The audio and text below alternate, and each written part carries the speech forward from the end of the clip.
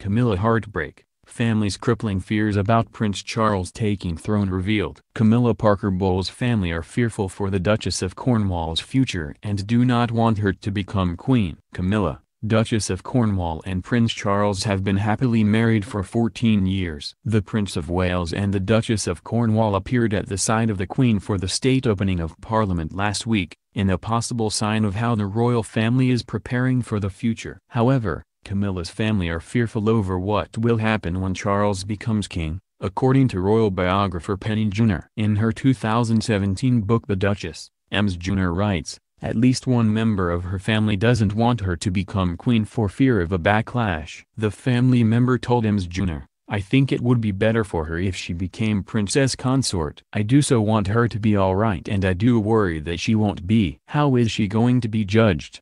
That's the thing I feel fearful about. Between Diana and the Queen is a hard place to be. People might go a bit wild. The Queen who's been in our lives forever, the worship of Diana, and suddenly Queen Camilla. It's going to be such shake-up. I fear for them both. The author also spoke to MP Frank Field, who works with Camilla as patron of his foundation Years Trust, who said, Charles will try and press of her to be crowned queen. And it is right that he should do so. We have no known basis of the wife of the king not being crowned queen. It is how that goal is achieved which is crucially important. Ems Junor adds, the title then by the wife of the king is not a matter of law, it is established through custom and practice. In the past, the wives of kings have been known as queen's consort, but they have never arrived in that position via the divorce courts. She continues, I have little doubt that Charles is so proud of Camilla, and so grateful for everything she has done for him and sacrificed for him, that he will insist she gets the full title.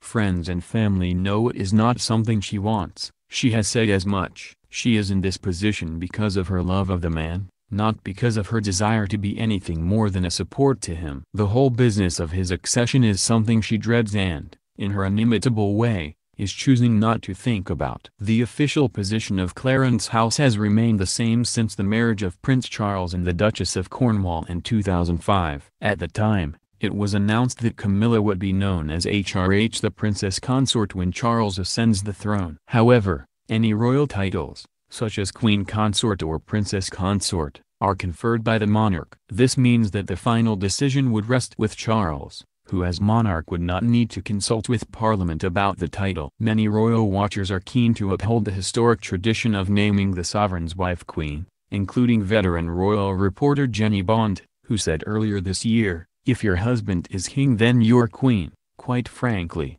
I do think she deserves that place and that respect. However others, like Ems Junor, point to the fact that a divorced monarch is unprecedented in modern times.